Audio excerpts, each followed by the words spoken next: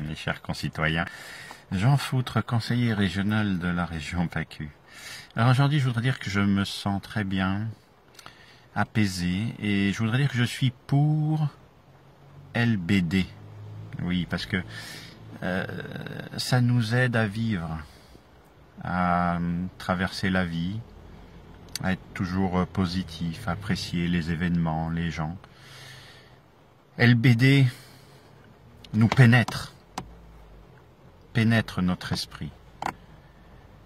LBD est toujours près de nous, est toujours là pour nous, pour nous aider à avancer.